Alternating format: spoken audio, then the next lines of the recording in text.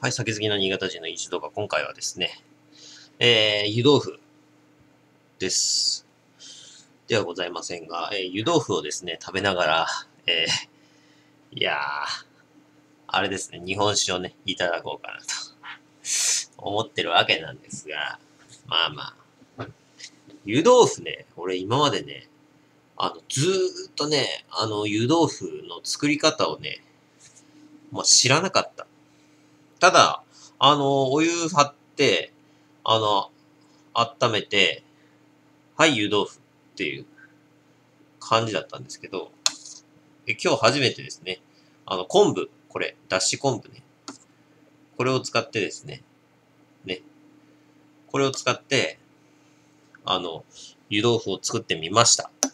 ていうか、これが正式らしいですね。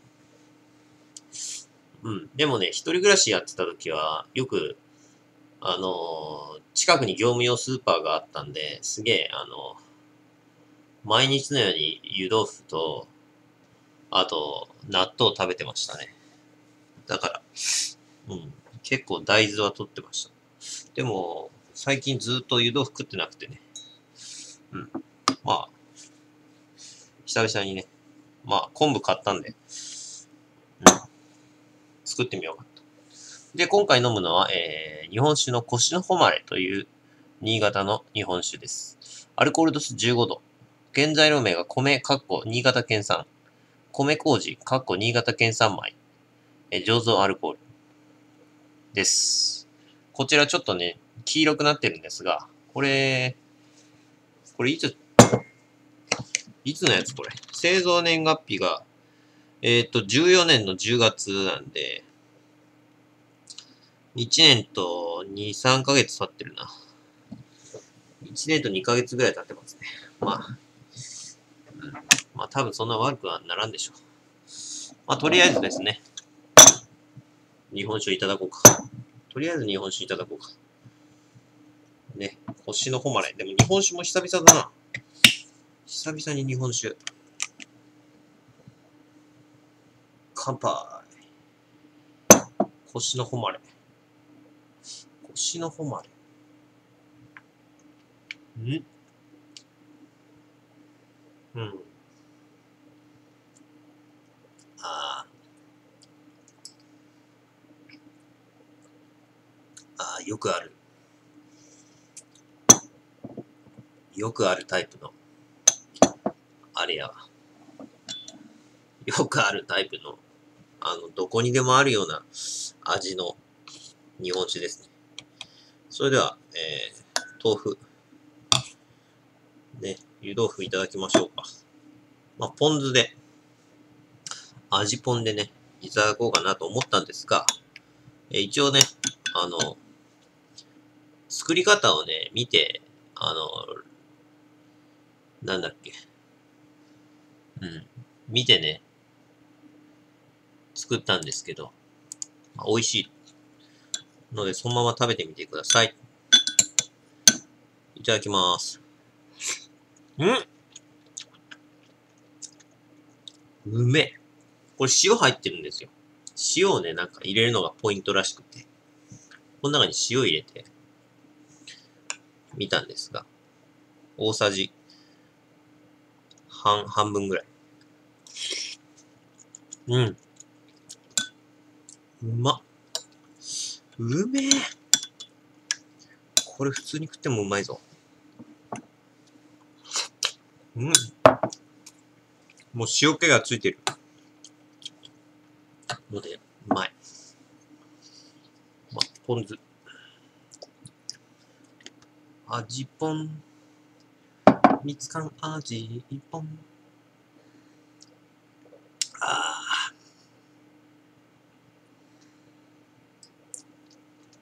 まあ、日本酒もね、まだいろいろね、残ってるんですよ。まだ飲んでないのが。いろいろっていうか10種類以上残ってるんだよな。どうしようかな。カップ酒いろいろまた買っ、1年前ぐらいに買ったんですけど、結局飲んでなくて、っていうね、感じです。ほんと飲んでね、日本酒多いな。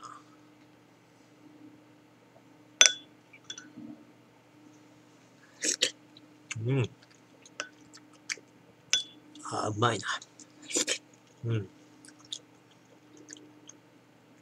ちょっと薄味の方がいいな。ちょっと、水入れて。うん。ああ、ちょうどいい。美味しい。まあでもね、寒い冬には、やっぱり湯豆腐でしょ。って言うんだけど、実は今年全然雪降ってなくて、うん、未だに雪積もったかなっていう雪がないんですよ。未だに。今、1月の5日ですけど、毎年いつもね、だいたい12月の上旬に初雪が降って、まあ積もるんですけど、今回はなんか異常気象かなんかで、今年はね、多分異常気象でしょう。うん。まあ俺は全然、ウェルカムなんですけど。まあまあ。ね。うん。あ、そういえばこれ言ってなかったな。星の誉れは、えー、っと、原酒造、原酒造株式会社。珍しい名前だな。原酒造だって。えー、原酒の、を作ると書いて、原酒造株式会社。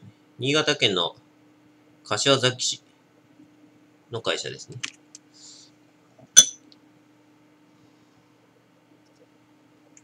いや、でも、これ年数経ってるからまずくなってるってことでもないだろう、多。若干は風味劣化するとは思うけど。俺だって、あの、八海山、1年前ぐらいのやつ、八海山、飲んだことあるけど、普通に変わんねかったもん。ほとんど。うん。多分ほぼ変わんないです。まあ確かに若干、なんか、うん。だったけど、まあ、むしろううまくなってたもんね。むしろ美味しかったもん。だって。日本酒。あ、しかもあれ、八海山あれ、あの、開戦して、あれ、一年経ったやつだもん、確か。もう腐ってるんちゃうかなと思って。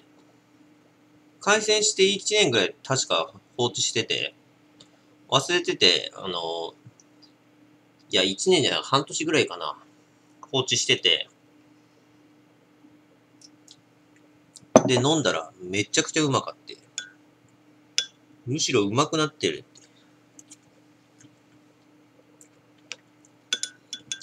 風味が増して逆にうまくなったって。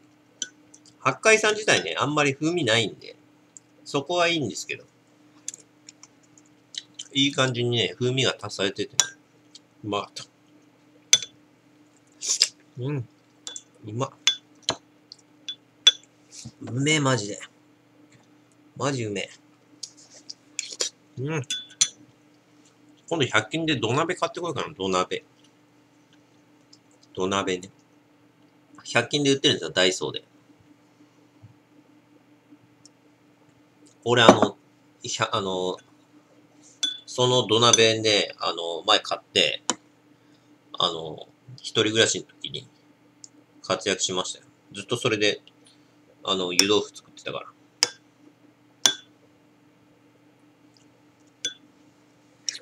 うん。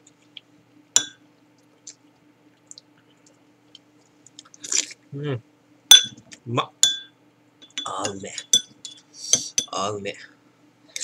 うん。あー、うめえな。昆布入れて、なんか味変わったのかな？あんまり昆布のさ、味っていうのがあんまり、ある、あるかな？あんまりわかんない。これ本当に昆布入れた意味あんのかなああ。うん。あ、全然昆布の味するわ。これ汁だけ飲むと。これあれやな。一緒にあれだな。あんまり豆腐に味移ってないわ。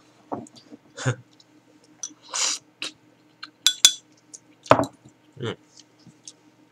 この昆布どうしようかな。残った昆布が、あれなんだよ。うん。うまっ。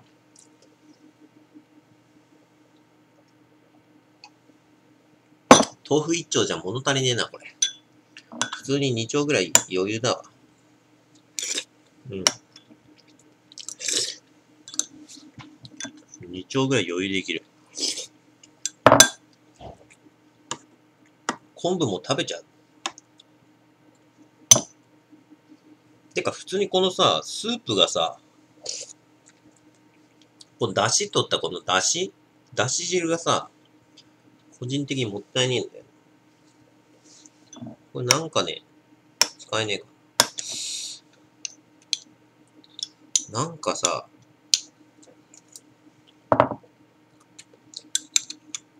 使えねえかな。もったいないから飲むけどね。通に飲むけど。これで、あの、スープ、なんか、作ったりとか。この中にわかめスープ、わかめ入れて、わかめスープ、できるんじゃないですか。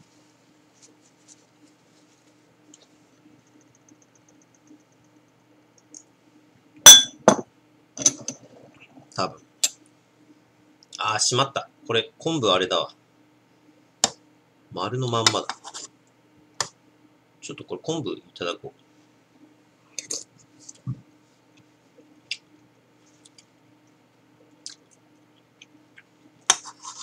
あ、案外。あ、案外いけるな。案外昆布自体も結構美味しいぞ。これそのまま。そのまま結構、うん。うん。まあ、歯応えが。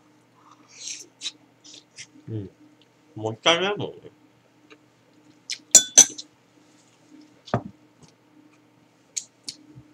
本来ならこういうの佃煮にするらしいんだけど。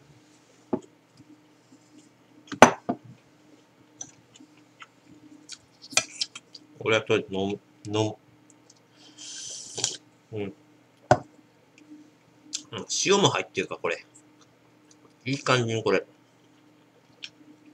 わかめ入れたらこれ、あれだ。わかめスープできるわ。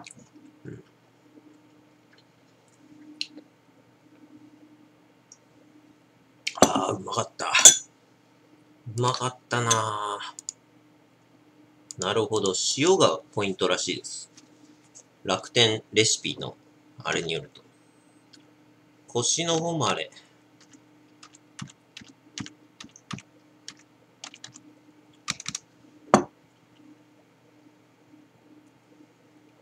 このひどいす、ひどくはないけど。すごいな、これ。原酒造株式会社って。原種、造船の造、原種造、株式会社。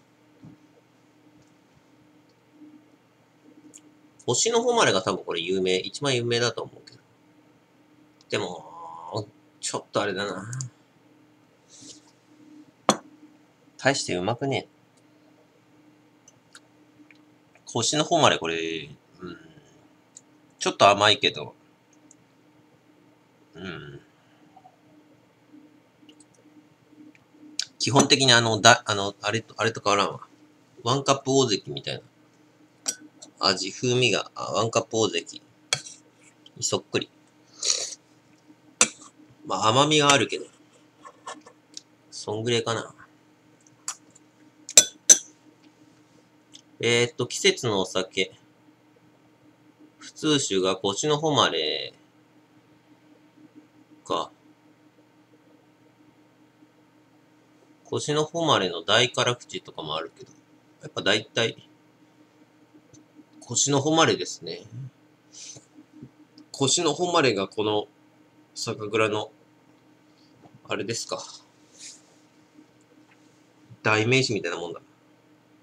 それだったら腰の誉れ株式会社にすればいいんだよね。全部ほとんど腰の誉れだっていうか、全部じゃないか、これ。腰の誉れ。ロックグラスとかも売ってる。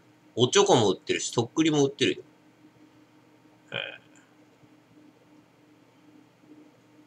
はい、腰の誉れか。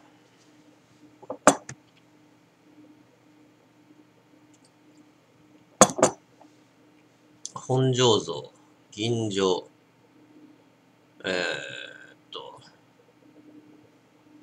これなんかないの？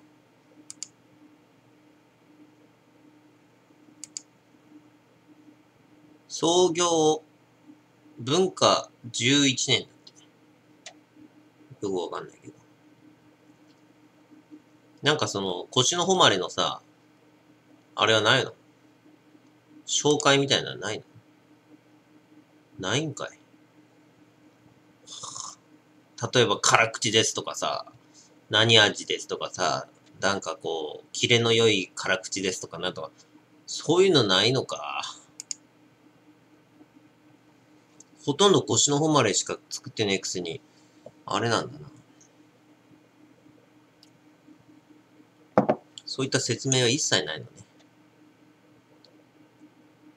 えー、っと、2015年の12月、違う。えー、っと、あれは？新潟県のあれ。あれはいつ？あれ、新潟県のさ、あの、柴田市の酒の陣だっけ？新潟酒の陣はあれ、あいつなのか知らないけど、俺新潟は行かねえけど、行くとしたら柴田なんですよ。ね柴田酒の陣ね。柴田市酒の陣なんだよな。こ、今度今年行こうかな。酒の陣いつだったっけ？いつやったかな？酒の陣な。新潟酒の陣じゃなくて、柴田市酒の陣だっけ？柴田酒の陣。柴田、新潟の酒の陣はいかん。遠いし。遠い。もう遠いってだけで、絶対に行かない。柴田市、城下町柴田酒の陣。これ4月ぐらいいつだったっけ？覚えてね。入館料が500円。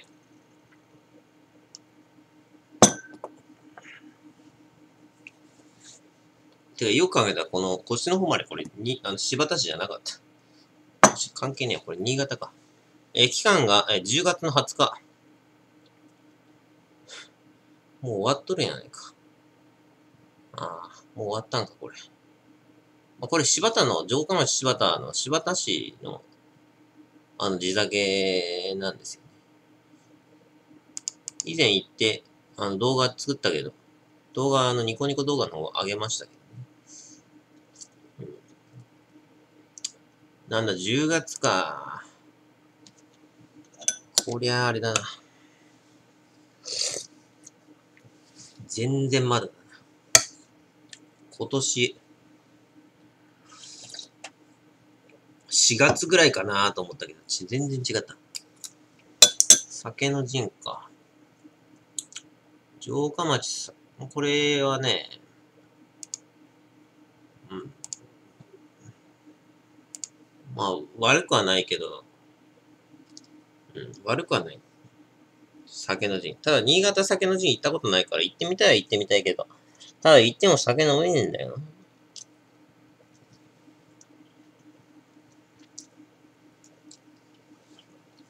新潟酒の陣はあれ、2000円ぐらいかかるんじゃなかった？あれ。2000円ぐらいするよね。あれ？あ、これ、俺、俺の動画あんじゃん。新潟市柴、新潟県柴田市の酒の陣2013へ行ってきたっていう動画を俺、四つ目に俺上げたんだっけ？上がってんだっけ？上がってんだけど。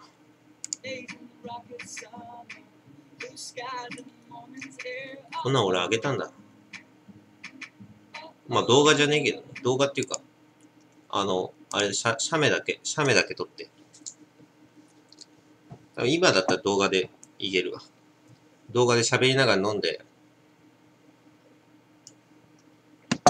ウェイできるわ。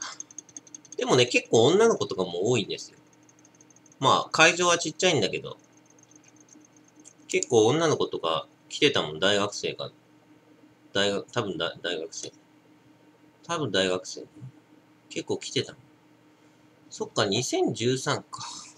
2年前行ったのか。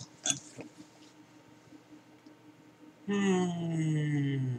まあ、500円。だ柴田のやつは500円なんからいいんですよ。たった500円ね。普通に考えてみ、500円だぞ。たったの。たったの500円で、全部で何酒造だ、これ。何酒造 ?6 酒造ぐらいあるんだけど、柴田市確か。あれ、4, 4酒造ぐらいだっけ？?5 酒造ぐらい？わかんない。あ、4軒の作り酒屋があります。4、4酒造あって、その4つの酒造のやつ飲み放題だから、500円だったら結構安いだろ。しかも地元だから。まあ、地元の、うん。新潟酒の陣。多分新潟酒の陣は、新潟市のやつは、高い。2000円ぐらいするよ、確かこれ。えー、っと、新潟淡麗。あこれだ新潟酒の陣3月12日13だ。こっちだ。こっちか。柴田市の方はあれだ、10月なんだ。2016年の3月の12日、13日、同日。みたい。ときメッセ。会場ときメッセです。こう言ってくっか、ネタで。いやー、きついな。ネタで行くのきついな。ネタで行っても酒飲めねえとこ何のために行くんだよ。しかもこれ。これあれだろ。チケット販売2000円ぐらいするだ、確か。いくらやったかな書いてねえ書いてねえなこれ2000円ぐらいするんです。確かね、前売り券2000円でね、あの、当日券2500円とかね。確か。そんな感じや。みんなそんな感じやった。え、来場者数が2012年の時は、10万2000人だって。すげえな。恐ろしいな。10万とか。マジかよ。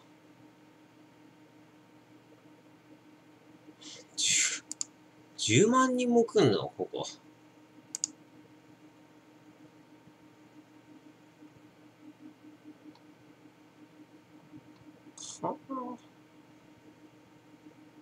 すぎなんだが。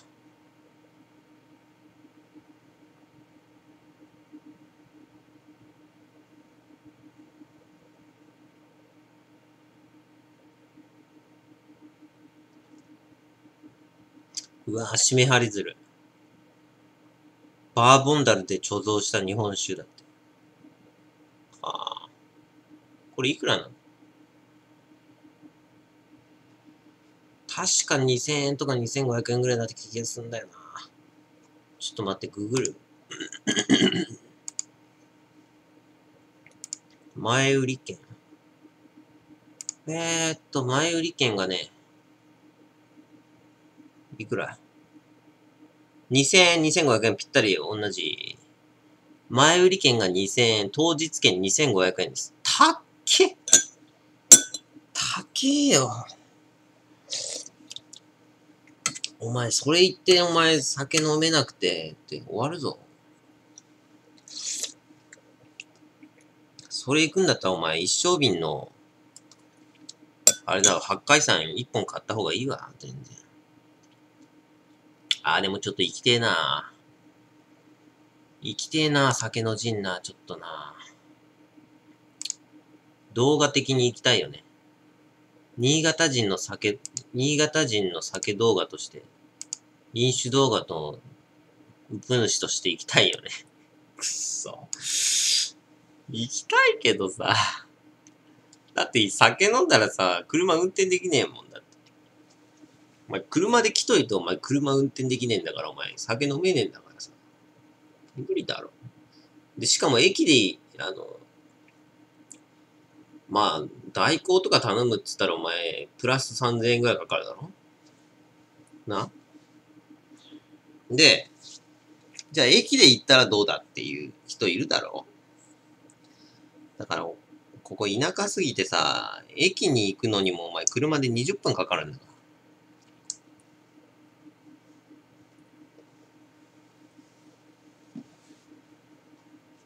つまり、駅に行くのにも車で使わなきゃいけないから、もう、八方塞がりなんだよな。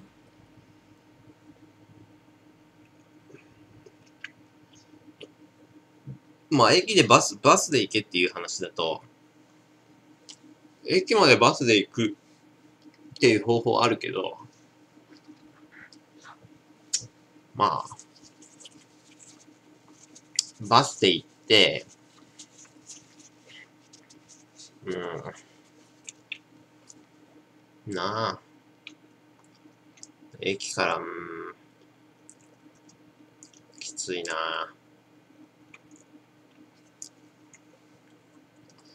駅で柴田駅まで行ってそっから新潟駅だろう。片道500円ぐらいかかるんだよ。往復多分 1000, 1000円ぐらいかかるんだよ。新潟駅まで行くのに。往復1000円だろ前売り券2500円じゃねえ、2000円だろ ?3000 円か。なんかバカバカしいんだよな。すっげえ。すっげえバカバカしいんだよな。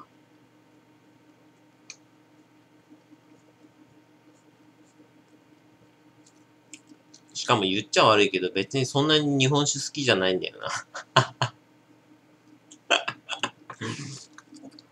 言っちゃ悪いけどさ、言うてそんなにあれなんだよ。だから、まあ、方法としては、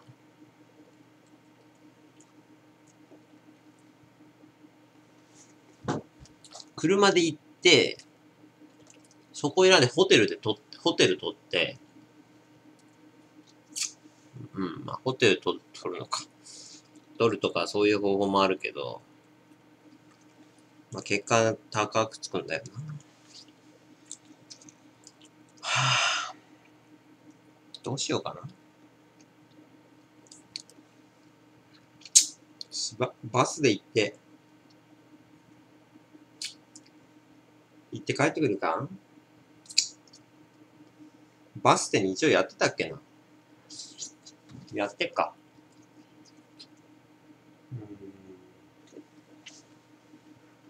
三千巻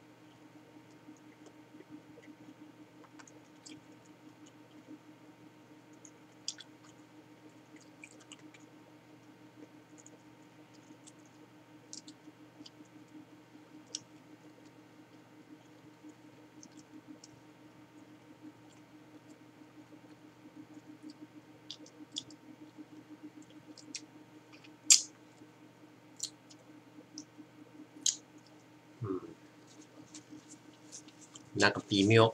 3000円でしょ ?3000 円か微妙だな。ネタ的に言ってみたいけど、なあ。本当にネタにしかならない可能性が。下手したらネタにもならない可能性も出てくる。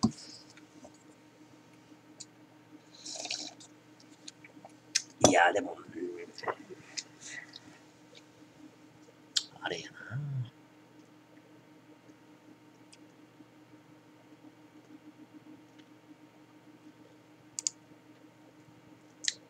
けえよな、でも2000円、2500円って。高すぎるぜ。本当に、でも生きてえな。今年酒の陣行くか。3000円か。誰かに連れてってもらうっていう方法は、まあ、なくもないんだけど。そうだな。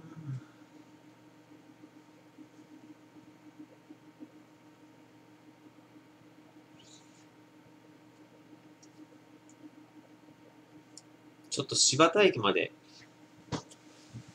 柴田駅まででいいから、あれだな、母さん、母さんにちょっと頼んで、送り迎えをしてもらう。っていう感じでいくかな？じゃあな。2015年の時は3月14日と15日。ときメッセ。うんだそうです。でももうそろそろ前売り券発売してんだろ。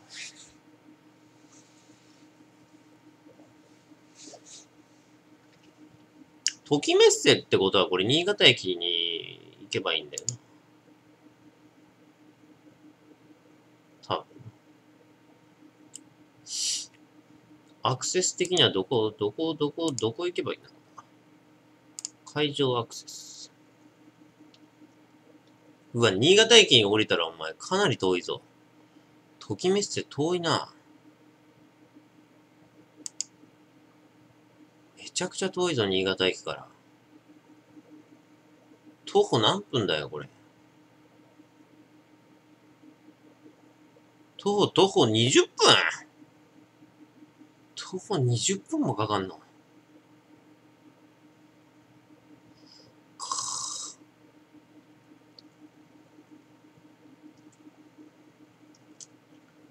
マジかよ。場所悪いな、ここ。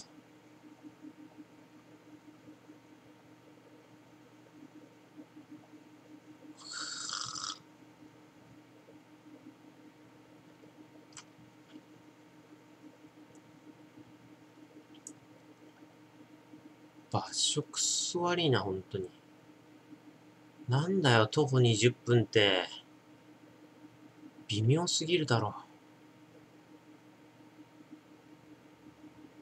微妙すぎるっていうか、徒歩20分はきついぞ、常識。常識で言うと。常識で言うと結構きついぞ。バスで行くか。なんかアホらしくなってくるな。ああ。ああ、もう嫌だ。なんか行きたいような行きたくないようなって感じだな。チケット販売。チケット販売まだか。3月12日、13日だな。えー、酒の陣。新潟淡麗酒の陣。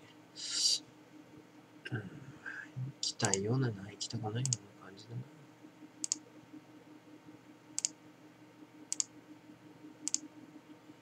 もう全然あれだな。準備中だ。準備中多いな。お、あったあった。えー、っと、柴田市は？あ、全酒造来るね。参加。市島酒造、かえー、菊水酒造、藤野井酒造、金松酒造。うん。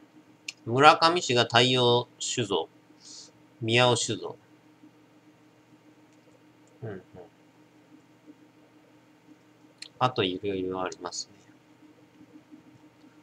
全部で何、何個参加するんだ、これ。多いなぁ。100、100酒造ぐらい参加するんじゃないか、これ。そんなしないか。50酒造ぐらいあるか。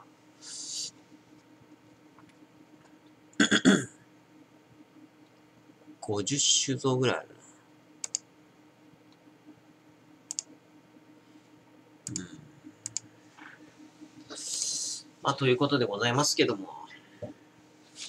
新潟酒の陣。ね、行く方はね、ぜひ、あの、楽しんで来てください。と多分俺は行かないかもしれない。行くかもしれないし、行かないかもしれない。わからない。だって3000円以上だもんな。普通にお前、一生瓶の八海山買って俺いいわ。もうそれでいいやって感じな、うん、するね。